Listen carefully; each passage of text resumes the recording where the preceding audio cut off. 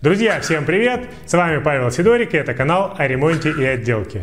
В этом ролике вы увидите весь процесс подготовки различных оснований под штукатурку, а также как избежать появления трещин на перегородках из газосиликатных блоков. Два способа армировки стен.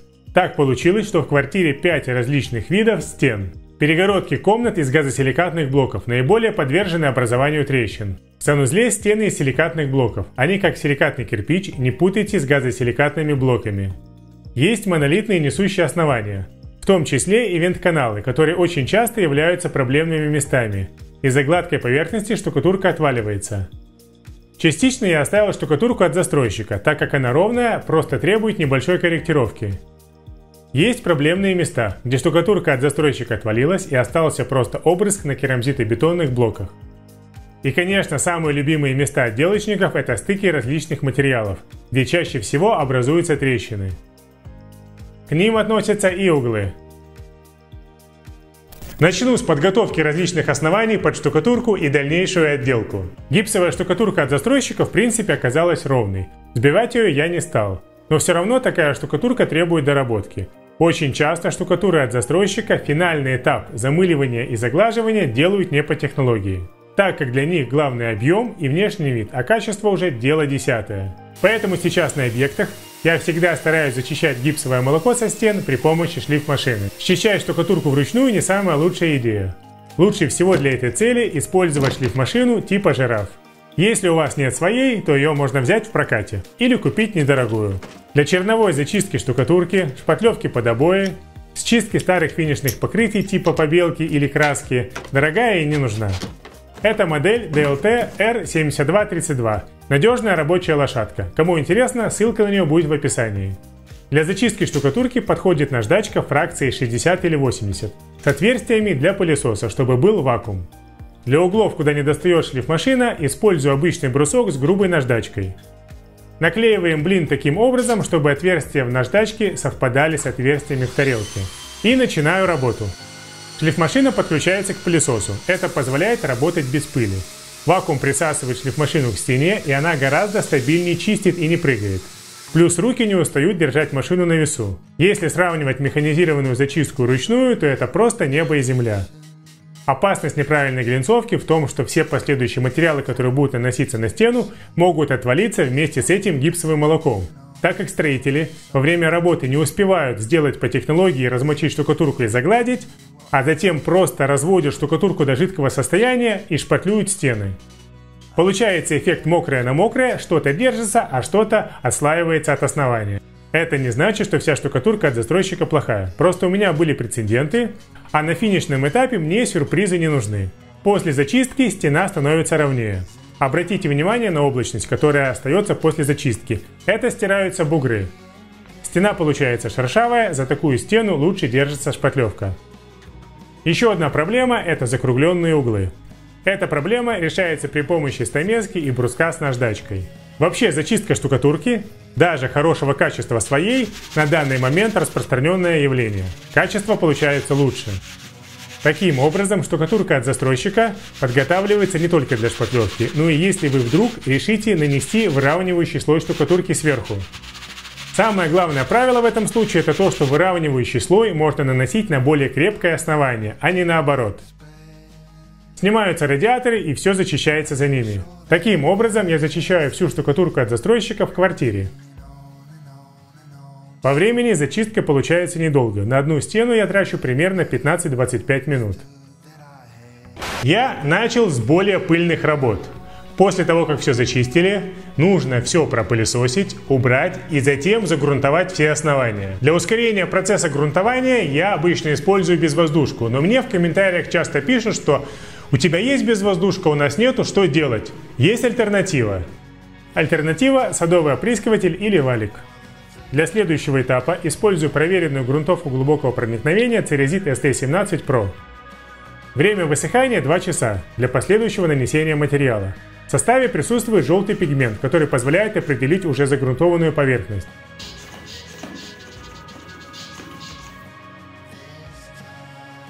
Нанесение грунтовки начинается с потолка. Вообще про подготовку и штукатурку потолка будет отдельный ролик, где я все подробно расскажу. Просто для ускорения работы этапы подготовки стены и потолка делаются одновременно. В грунтовке стен опрыскивателем нет ничего хитроумного. Просто равномерно наносите и контролируйте, чтобы она не попадала на радиаторы и окна. Все, что может испачкаться, от грунтовки лучше предварительно вынести из комнаты. Садовые опрыскиватели стоят недорого, но в то же время значительно ускоряют работу.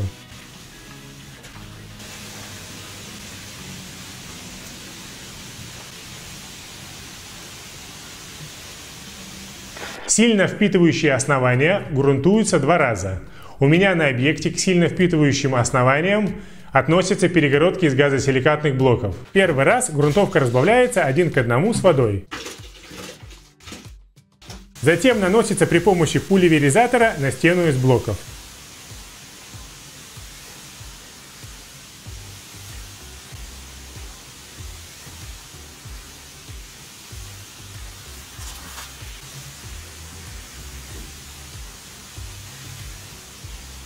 Второй раз грунтовка наносится через 2 часа после полного высыхания первого слоя, но уже не разбавляется.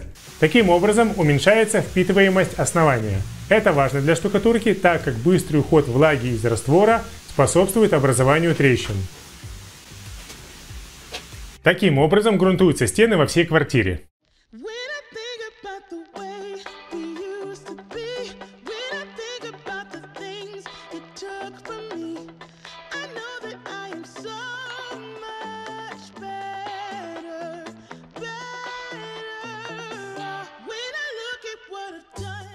Следующий этап – это замазка штроп и армировка стен фасадной сеткой. Он относится к стенам, возведенным из газосиликатных блоков. Я покажу два варианта. Первый вариант – это классический, с использованием штукатурно-клеевой смеси. А второй вариант – это когда сетка утапливается непосредственно в гипсовую штукатурку. Для первого варианта используют клеевую смесь Церезит ST85. Состав армирован микроволокном и отлично подходит для создания базового штукатурного слоя. Сначала замешиваю небольшое количество для того, чтобы замазать штробы.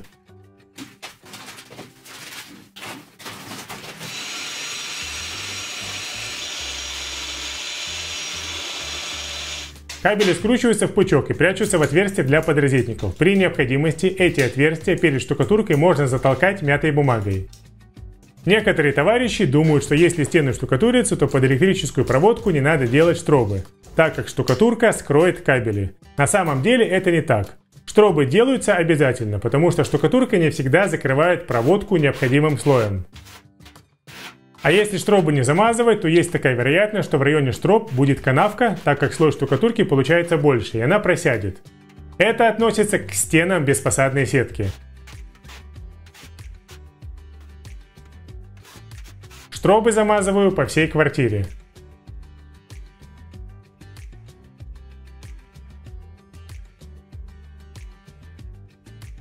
А здесь я допустил ошибку и замазал штробу раньше времени. Сюда еще нужно проложить кабели теплого пола и термодатчик. Придется потом делать новую штробу. Для армировки я использую фасадную сетку 160 грамм на метр, ячейка 5 на 5 миллиметров. Такая сетка обработана щелочным раствором, ее не разъедает цементный клей. Отмеряю необходимую длину с таким расчетом, чтобы был выпуск сетки на потолок. Рулон распускается сразу на всю квартиру по шаблону. Такая конвейерная работа ускоряет процесс. Заранее прикинул метраж стен, чтобы не распускать лишнего.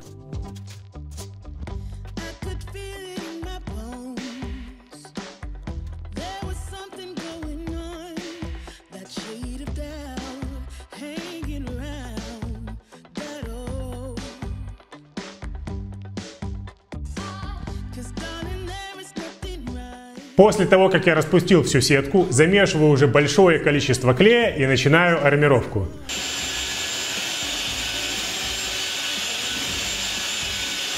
Газосиликатные блоки нужно армировать обязательно. Силикатные блоки, керамзитобетонные блоки, кирпич не так подвержены деформации, поэтому их армировать не обязательно. Но если вы сделаете армировку, то хуже не будет, будет только лучше. Перед тем, как наносить клей на стену, желательно что-то подстелить.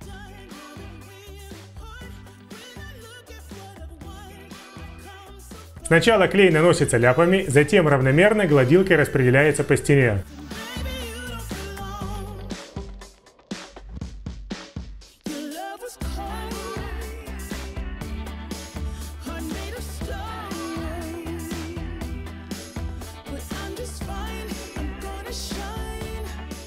После этого фасадная сетка вдавливается в клей и сверху замазывается вторым слоем.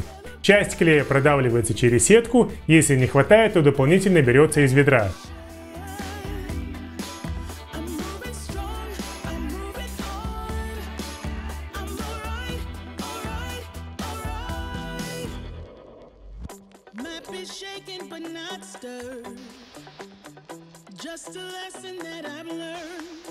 And so it goes.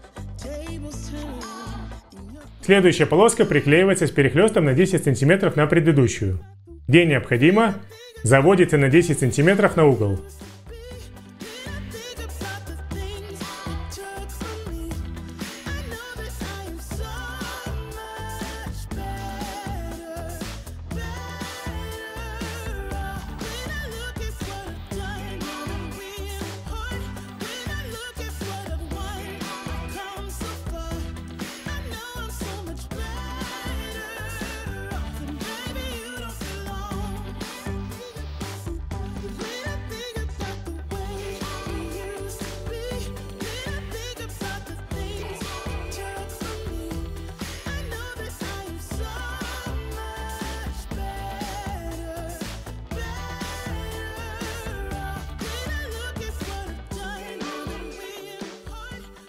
Эта комната готова.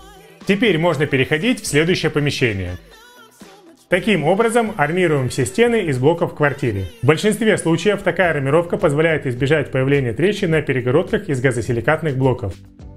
Сетка, конечно, не панацея, если дом хорошо просядет, то может порвать и сетку. Но тем не менее, армировка это единственный способ, который реально защищает от появления трещин.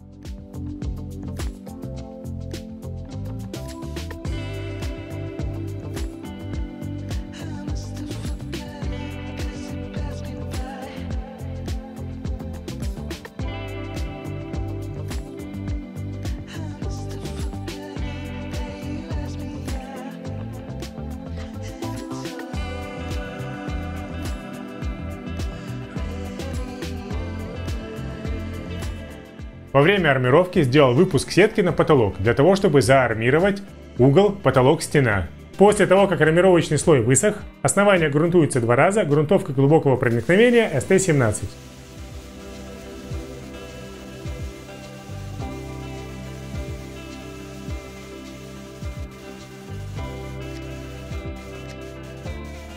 В тех местах, где нету армировочной сетки, просто проклеиваются углы. Для этого распускаем сетку на полоски по 20 см.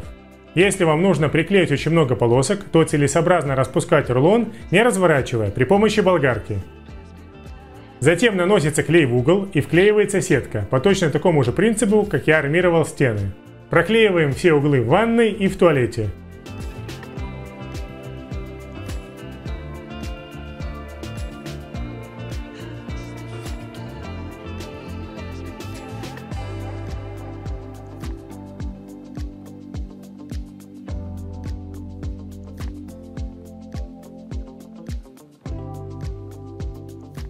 Вот как это выглядит в готовом виде.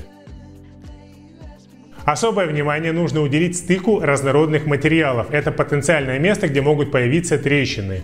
Сейчас я вам покажу несколько способов, которые помогут избежать появления трещин. У меня в квартире был всего лишь один прямой стык разнородных материалов. Я его уже замазал. Сейчас я на стене просто покажу варианты. Моделирую на стене стык разных материалов. Здесь на стене я нарисовал имитацию соединения двух разнородных материалов. С этой стороны идет монолитная стена, здесь начинается стена из блоков. Очень часто вот в этом месте стыки двух материалов появляется трещина. Классическая армировка такой трещины – это когда наносится материал, это может быть штукатурно-клеевая смесь, это может быть клей для гипсокартона, Сверху вдавливается фасадная сетка.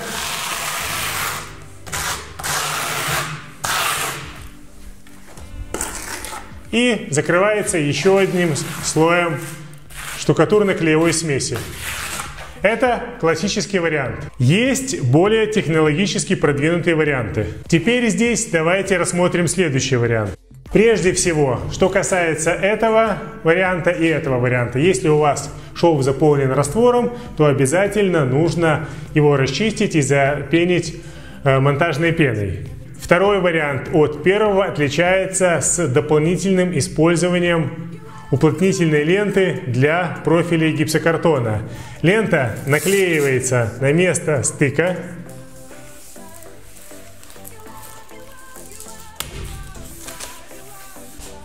Сверху наносится штукатурно-клеевая смесь или клей для гипсокартона.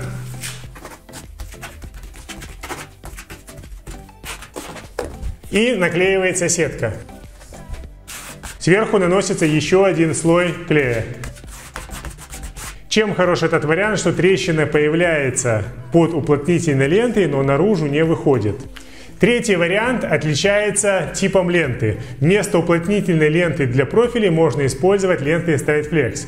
Они композитные, немного тянутся и эффект получается точно такой же. Трещина появляется под лентой, но не выходит наружу. Можно использовать красную, зеленую, оранжевую, то есть там без разницы. А сейчас второй способ армировки, когда сетка утапливается непосредственно в штукатурку. В этом способе фасадная сетка не клеится на клей а просто крепится к стене перед установкой маяков. Крепится таким образом, чтобы во время штукатурных работ сетку можно было развернуть и нанести штукатурку на стену. А затем втопить сетку в штукатурку и еще сверху нанести слой штукатурки. Получается, что сетка находится в теле штукатурки. Перед установкой маяка сначала на стену под сетку наношу полоску из штукатурки, затем втапливаю сетку. Наверх наношу штукатурку и устанавливаю маяк. Креплю сетку при помощи саморезов, шов из пены между стеной и потолком. Силикатные блоки армировать не обязательно, но мне где-то надо было вам показать этот способ.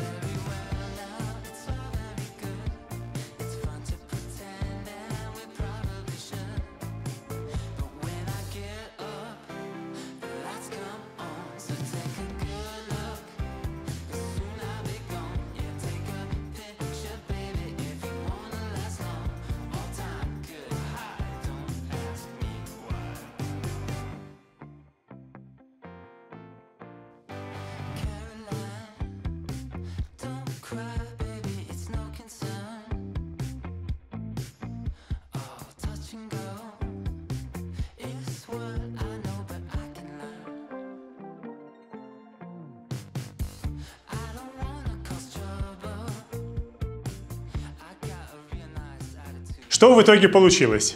Сетка находится под маяками. Когда я начну штукатурить, сетку просто отодвигаю, наношу штукатурку на стену, вдавливаю сетку в штукатурку и сверху наношу слой штукатурки и стягиваю. То есть получается, что сетка находится в теле раствора. Размещать ее можно по-разному, можно просто полоски разместить под маяками и сюда вклеивать куски. Я вот сделал вот так, чтобы можно было отодвигать. Не принципиально. Как нужно подготавливать монолитные основания и железобетонные панели под гипсовую штукатурку? Прежде всего, все монолитные основания и железобетонные плиты нужно почистить болгаркой с алмазной чашкой, для того, чтобы снять цементное молоко и открыть поры. Цементное молоко – слабое звено, и именно вместе с ним бывает отваливается бетон-контакт. Эту процедуру мы сделали еще на этапе демонтажных работ, так как работа пыльная.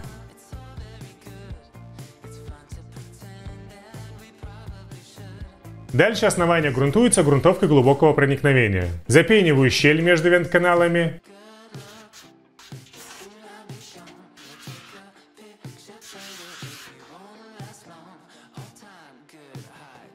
После того, как пена застыла, она обрезается и стык армируется сеткой с клеем.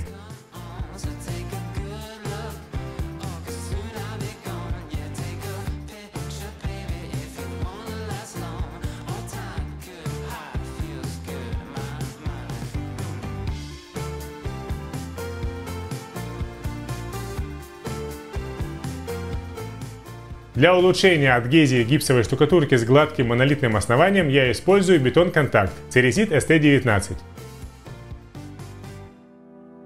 Перед использованием содержимое банки нужно перемешать. У меня на объекте не оказалось миксерной насадки для шуруповерта, но я нашел выход, перемешиваю бетон-контакт шестигранником.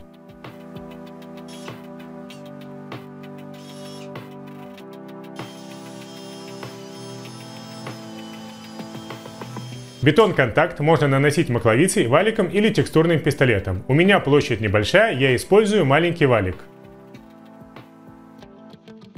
Бетон-контакт наносится густым слоем, так что после высыхания осталась шуба. Одна из ошибок это раскатка бетон-контакта в ноль. Получается, что после такой раскатки на стене остается очень мало кварцевого песка, а именно кварцевый песок и держит штукатурку. Розовый акриловый наполнитель является связующим элементом.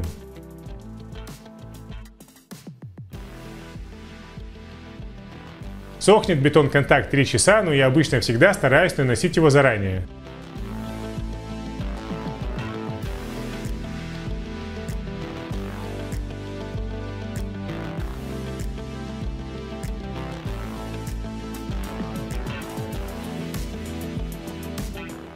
Не совершайте мою ошибку. Перед нанесением лучше подложить под стену картон, а то потом нужно будет мыть пол. После того, как бетон-контакт высохнет, можно ставить маяки и наносить гипсовую штукатурку.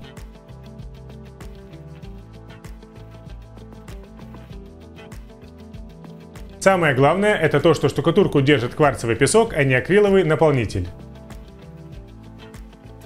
Ролик подошел к концу. Если вам понравилось, то, конечно же, поставьте лайк, подписывайтесь на канал, пишите комментарии, обязательно нажимайте на колокольчик и желаю всем хорошего настроения. До новых встреч! Know you've been a good friend, and that's in the thick.